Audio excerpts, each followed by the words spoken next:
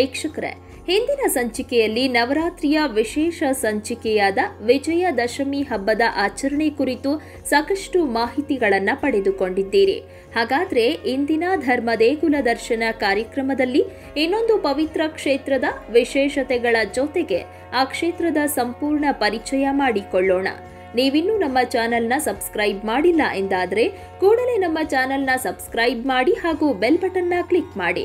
ಹಿಂದೂ ಧರ್ಮದಲ್ಲಿ ಸಾಕಷ್ಟು ಜನರು ಭಕ್ತಿಯಿಂದ ಆರಾಧಿಸುವ ದೇವರಲ್ಲಿ ಪರಮೇಶ್ವರ ಕೂಡ ಒಬ್ಬನಾಗಿದ್ದು, ಈತ ಕಾಶಿಯಲ್ಲಿ ವಿಘ್ನೇಶ್ವರನಾಗಿ ನೆಲೆ ನಿಂತು ತನ್ನ ಬಳಿ ಬರೋ ಭಕ್ತರನ್ನ ಉದ್ಧರಿಸುತ್ತಿದ್ದಾನೆ.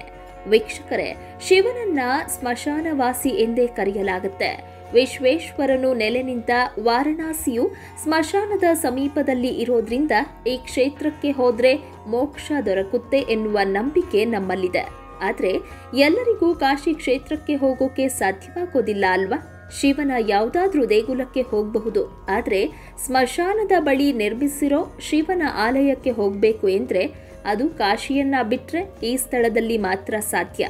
ಹಾಗಾದ್ರೆ ಅಂಥದ್ದೊಂದು ಪುಣ್ಯ ಕ್ಷೇತ್ರ ಎಲ್ಲಿದೆ? ಆ ಕ್ಷೇತ್ರದ ಮಹಿಮೆ ಏನು ಅನ್ನೋದನ್ನ ಬನ್ನಿ, ಇವತ್ತಿನ ಸಂಚಿಕೆಯಲ್ಲಿ ತಿಳಿದುಕೊಳ್ಳೋಣ.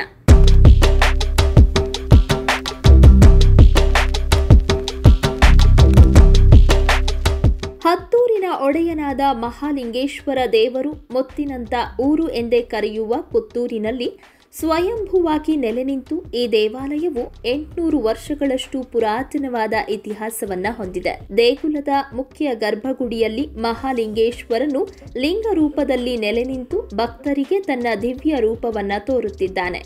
ಈ ಕ್ಷೇತ್ರದ ವಿಶೇಷತೆ ಏನಂದ್ರೆ ಶಿವನ ಆಲಯವನ್ನ ಸ್ಮಶಾನದ ಎದುರುಗಡೆಯೇ ನಿರ್ಮಿಸಿರೋದು.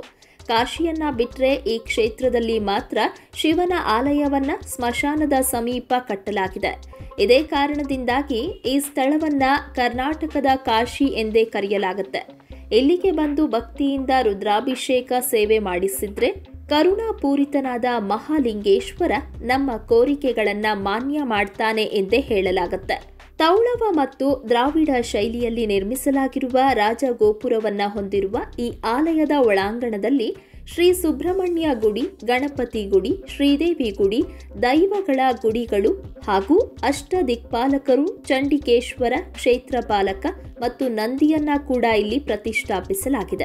ಅತ್ಯಂತ ಹಳೆಯ ಆಲಯವಾದ ಈ ಕ್ಷೇತ್ರವನ್ನು ಎರಡ್ ಸಾವಿರದ ಹದಿಮೂರರಲ್ಲಿ ಪುನರ್ ನಿರ್ಮಾಣ ಮಾಡಿ ವೈಭವದ ಬ್ರಹ್ಮ ಕಲಶೋತ್ಸವವನ್ನು ನಡೆಸಲಾಗಿದೆ. ದೇಗುಲದ ಗೋಡೆಗಳ ಮೇಲೆ ಸ್ಥಳ ಪುರಾಣ ಮತ್ತು ಶಿವಪುರಾಣದ ವರ್ಣನೆಯನ್ನ ಸುಂದರವಾಗಿ ಕೆತ್ತಲಾಗಿದೆ.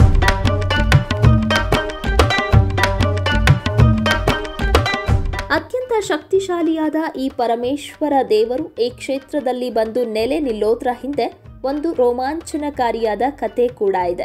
ಹಿಂದೆ ಪೋಳಲಿ ಮೂಲದ ನಟ್ಟೋಜಿ ಮನೆತನದ ವ್ಯಕ್ತಿಯೊಬ್ಬರು ಕಾಶಿಗೆ ಹೋಗಿ ಅಲ್ಲಿ ಗಂಗಾ ತಟದಲ್ಲಿ ಮಿಂದೆದ್ದು ವಿಶ್ವೇಶ್ವರನನ್ನ ದರ್ಶನ ಮಾಡಿ ಪುತ್ತೂರಿಗೆ ಬರುವಾಗ ಶಿವಲಿಂಗವೊಂದನ್ನು ತೆಗೆದುಕೊಂಡು ಬರ್ತಾರೆ. ಇವರು ಶಿವಲಿಂಗವನ್ನ ಕೈಯಲ್ಲಿಟ್ಕೊಂಡು ಪೂಜೆ ಮಾಡ್ತಾ ಪುತ್ತೂರಿಗೆ ಬಂದು ನೆಲೆ ನಿಲ್ತಾರೆ. ಒಂದಿನ ಅಚಾತುರ್ಯವಾಗಿ ಇವರು ಶಿವಲಿಂಗವನ್ನ ಭೂಮಿಯ ಮೇಲೆ ಬಿಟ್ಟು ಬಿಡ್ತಾರೆ. ನಂತರ ಲಿಂಗವನ್ನ ಎತ್ತಲು ಹೋದ್ರೆ ಅದು ಮೇಲೆ ಬರೋದೇ ಇಲ್ಲ. ಏನ್ ಮಾಡ್ಬೇಕೆಂದು ತೋಚದೆ ಈ ವಿಷಯವನ್ನ ಅವರು ಬಂಗರಸ ರಾಜನಿಗೆ ತಿಳಿಸ್ತಾರೆ. ಬಂಗರಸ ರಾಜ ವಿಷಯವನ್ನ ತಿಳಿದು ತನ್ನ ಜನರನ್ನ ಕಳುಹಿಸ್ತಾನೆ. ಆದ್ರೂ ಅವರ ಕೈಯಲ್ಲಿ ಲಿಂಗವನ್ನ ಭೂಮಿಯಿಂದ ಹೊರ ತೆಗೆಯೋದಕ್ಕೆ ಸಾಧ್ಯವಾಗೋದೇ ಇಲ್ಲ.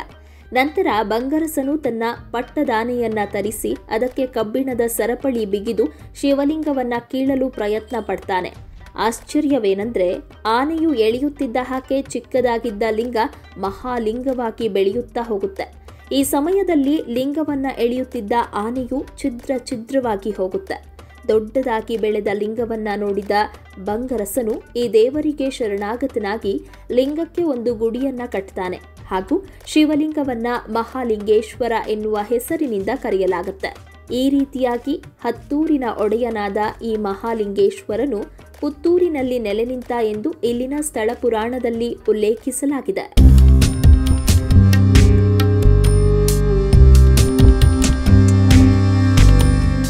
ಸ್ನೇಹಿತರೆ, ಈ ದೇಗುಲದಲ್ಲಿ ಪ್ರತಿ ವರ್ಷ ಏಪ್ರಿಲ್ ತಿಂಗಳಿನಲ್ಲಿ ದೇವರ ಬ್ರಹ್ಮ ರಥೋತ್ಸವ ನಡೆಯುತ್ತೆ.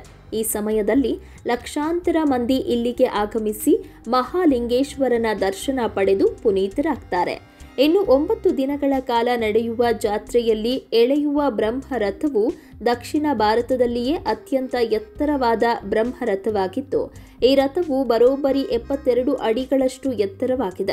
ಅಲ್ಲದೆ, ಇಲ್ಲಿ ನಡೆಯುವ ಸುಡುಮದ್ದು ಪ್ರದರ್ಶನ ಹೆಚ್ಚು ಪ್ರಸಿದ್ಧಿಯಾಗಿದ್ದು ಸುಡುಮದ್ದು ಸುಡುವ ಪ್ರಕ್ರಿಯೆಯನ್ನ ಪುತ್ತೂರು ಬೇಡಿ ಎಂದು ಕರೆಯಲಾಗುತ್ತೆ.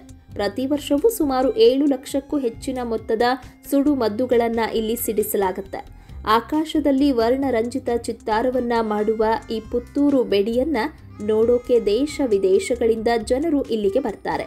ಇವಿಷ್ಟು ಸಂಗತಿಗಳು ಮಾತ್ರವಲ್ಲದೆ, ಈ ಕ್ಷೇತ್ರದಲ್ಲಿ ಯುಗಾದಿ, ಶಿವರಾತ್ರಿ, ಮಕರ ಸಂಕ್ರಾಂತಿ, ಕಾರ್ತಿಕ ಮಾಸಗಳನ್ನ ಕೂಡ ಅದ್ದೂರಿಯಾಗಿ ಆಚರಿಸಲಾಗುತ್ತೆ. ಅತ್ಯಂತ ಶಕ್ತಿಶಾಲಿಯಾದ ಈ ಮಹಾಲಿಂಗೇಶ್ವರನನ್ನ ಬೆಳಗ್ಗೆ ಐದು ಮೂವತ್ತರಿಂದ ಮಧ್ಯಾಹ್ನ ಹನ್ನೆರಡು ನಲವತ್ತೈದರವರೆಗೆ, ಸಾಯಂಕಾಲ ನಾಲ್ಕು ಗಂಟೆಯಿಂದ ಸಂಜೆ ಏಳು ಮೂವತ್ತರವರೆಗೆ ದರ್ಶನ ಮಾಡಬಹುದಾಗಿದೆ. ಇಲ್ಲಿಗೆ ಬರುವ ಭಕ್ತಾದಿಗಳು ದೇವರಿಗೆ ಬಿಲ್ವಾರ್ಚನೆ, ರುದ್ರಾಭಿಷೇಕ, ಪಂಚಾಮೃತ ಅಭಿಷೇಕ, ಹಣ್ಣು ಕಾಯಿ ಸೇವೆಗಳನ್ನು ಮಾಡಿಸಬಹುದಾಗಿದೆ. ಮಹಾಲಿಂಗೇಶ್ವರನ ಈ ಆಲಯವು ದಕ್ಷಿಣ ಕನ್ನಡ ಜಿಲ್ಲೆಯ ಪುತ್ತೂರಿನಲ್ಲಿದ್ದು, ಈ ಕ್ಷೇತ್ರವು ರಾಜಧಾನಿ ಬೆಂಗಳೂರಿನಿಂದ ಮುನ್ನೂರ ಹನ್ನೊಂದು ಕಿಲೋಮೀಟರ್, ಶಿವಮೊಗ್ಗದಿಂದ ಇನ್ನೂರ ನಾಲ್ಕು ಕಿಲೋಮೀಟರ್, ಉಡುಪಿಯಿಂದ ನೂರ ಮೂರು ಕಿಲೋಮೀಟರ್, ಮಂಗಳೂರಿನಿಂದ ಐವತ್ತೊಂದು ಕಿಲೋಮೀಟರ್ ದೂರದಲ್ಲಿದೆ. ಪುತ್ತೂರಿಗೆ ರಾಜ್ಯದ ಹಲವಾರು ಭಾಗಗಳಿಂದ ಕರ್ನಾಟಕ ಬಸ್ ಸಾರಿಗೆ ಸೌಲಭ್ಯವಿದ್ದು, ಮಂಗಳೂರಿನಿಂದ ಪುತ್ತೂರಿಗೆ ಸರ್ಕಾರಿ ಹಾಗೂ ಖಾಸಗಿ ಬಸ್ ಸೌಕರ್ಯವಿದೆ. ಕಬಕ ಪುತ್ತೂರು ರೈಲ್ವೆ ನಿಲ್ದಾಣ ಈ ಕ್ಷೇತ್ರಕ್ಕೆ ಸಮೀಪದಲ್ಲಿದ್ದು ಸಾಧ್ಯವಾದರೆ ನೀವು ಒಮ್ಮೆ ಈ ಕ್ಷೇತ್ರಕ್ಕೆ ಭೇಟಿ ನೀಡಿ ಜಗದೀಶ್ವರನ ಕೃಪೆಗೆ ಪಾತ್ರರಾಗಿ ಅಂತ ಹೇಳ್ತಾ ಈ ದೇಗುಲದ ಬಗ್ಗೆ ನಮಗೆ ಮಾಹಿತಿ ನೀಡಿರುವ ವಿಠಲ್ ಶಾಸ್ತ್ರಿ ಪುತ್ತೂರ್ ಇವರಿಗೆ ಧನ್ಯವಾದಗಳನ್ನು ತಿಳಿಸ್ತಾ ಇವತ್ತಿನ ಧರ್ಮ ದೇಗುಲ ದರ್ಶನ ಕಾರ್ಯಕ್ರಮವನ್ನ ಮುಗಿಸ್ತಾ ಇದ್ದೇವೆ. ವೀಕ್ಷಕರ ಗಮನಕ್ಕೆ ನಿಮ್ಮ ಅನಿಸಿಕೆ ಅಥವಾ ಅಭಿಪ್ರಾಯಗಳನ್ನ ಕಮೆಂಟ್ ಮುಖಾಂತರ ವ್ಯಕ್ತಪಡಿಸಬಹುದು ಹಾಗೂ ನಿಮ್ಮ ಸುತ್ತಮುತ್ತ ಇದೇ ತರಹದ ಅದ್ಭುತ ದೇವಾಲಯಗಳಿದ್ದರೆ ಅದರ ಸಂಪೂರ್ಣ ಮಾಹಿತಿಗಳನ್ನ ನಮಗೆ ಇಮೇಲ್ ಮುಖಾಂತರ ತಿಳಿಸಬಹುದು. ನಮ್ಮ email ID inspire Kannada channel at Gmail dot com ಮುಂದಿನ ಸಂಚಿಕೆಯಲ್ಲಿ ಮತ್ತೊಂದು ವಿಶೇಷವಾದ ದೇಗುಲದ ಮಾಹಿತಿಯೊಂದಿಗೆ ನಿಮ್ಮ ಮುಂದೆ ಬರ್ತೀವಿ. ಈ ವಿಡಿಯೋ ನಿಮಗೆ ಇಷ್ಟವಾಗಿದ್ದಲ್ಲಿ ದಯವಿಟ್ಟು ನಮ್ಮ ಚಾನೆಲ್ನ ಸಬ್ಸ್ಕ್ರೈಬ್ ಮಾಡಿ ಹಾಗೂ ಬೆಲ್ ಬಟನ್ನ ಕ್ಲಿಕ್ ಮಾಡಿ. ವಂದನೆಗಳು.